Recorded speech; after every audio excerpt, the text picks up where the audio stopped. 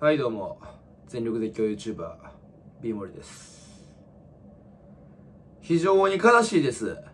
いや、オリックスバファローズ、昨日まで、えー、ロッテ相手に3連勝。B モデル自身も、えー、現地観戦で、久しぶりの勝利、2勝目。まあ、厳密に言うと、あの、2大チャンですね。えー、2大チャン9敗の成績なんですけど、まあ、実質まだ勝ってないですけど、はい。まあ、オリックスとしても現在、あの、首位に並びかけて、はい、ゲーム差としては、あのー、これパリーグが本当に面白くなってきたんですけども、あのー、やっぱプロ野球の楽しみ方、この順位争いももちろんあります。しかし、この、個人を応援するという観点でね、やっぱ野球の楽しみ方ってあると思うんですよ。あのー、そういう点で、ちょっと今日僕あの、へこみました。えー、なぜなら、はい。えー、本日の工事、はい、登録抹消。えーと、一番上に、えー、オリックスバファローズ、えー、バレラ。えー、僕がずっとね、気をかけてきた、えー、助っ人外国人、バレラ選手が、えー、本日、えー、登録場所2軍に落ちました。えー、バレラ選手、これ先週の日曜日にね、えー、1軍に上がってきたばっかりでね。はい。なんですけども、まあ1週間で、えー、2軍に落ちました。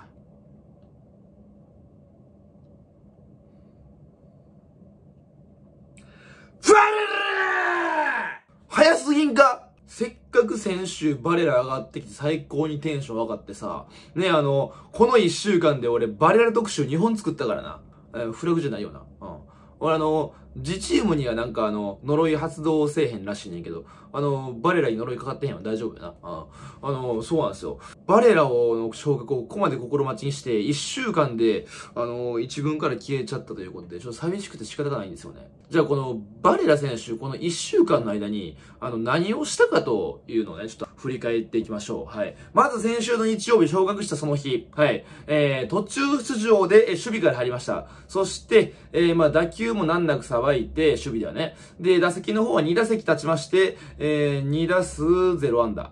まあ、いい当たりのね、あの、フライもあったんですけど、まあ、結局ノーパワーでした。はい。吉野部からもですね。えー、そして次の試合、えー、8月30日火曜日楽天戦は、えー、出番なし。えー、そして8月31日、これも楽天戦は、えー、これスタメン出場しましたね。2番サードで。はい。えー、ここで4打数1安打。そしてこの1安打、えー、タイムリーです、タイムリー。はい。これは同点タイムリーなんですよね。これが本当に嬉しかったよね。はい、もうこれチームを勝利に導く一打ですよ。はい、もうこれはね、動画でも特集させてもらったんですけど、いや、ちょっと当にね、もう今までの全てが報われたような感じがしましたよね。はい。まあ結局その後は無安打で4打数1安打。はい。そして次の試合ですね。えー、次の試合も、えー、前日の活躍を買われてスタメン出場したんですけども、えーと、これサードで出たんですけども、えーと、これ、浅村選手の打球を、えー、後逸してタイムリーエラーしました。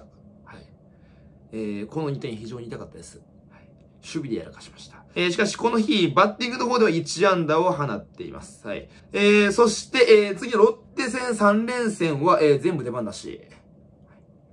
えー、結局バレラこの目立った活躍はしてないんですけども、えー、今日あの一軍に上がってきて出た試合、そもそも出た試合自体が、えーと、3試合だけなんですよね。3試合で、えー、バッティングの方では、えー、9打数2安打、はい、打率2割2分2厘。守りの方ではエラー1個。これもっと出さなあかんやろ。このさ、この3試合で、なぜそれが分かるというのはこのバレラは使えないというのが、俺はね、あの、バレラにね、知った激励しつつもね、あの、ボロカス言いながらも、なんやかんや、期待はしてたんですけどね。ちょっとあの、あまりにも、あの、判断材料がなさすぎるんで、これバレラが全然ダメやったとも言えないし、てかもうこの、残り試合20試合を切ったところで、この落ちるとなると、まあ、ここからしばらく登録はできませんから、多分ですけど、今シーズンも一軍に上がってくる見込みは、ほぼほぼないっすね。抹消期間考えると。バレラ終わりですか？バレラ今季終了。てか、バレラ、オリックス終了。日本球界終了。ね、この成績でね、あのー、残留できるとは思わないからね。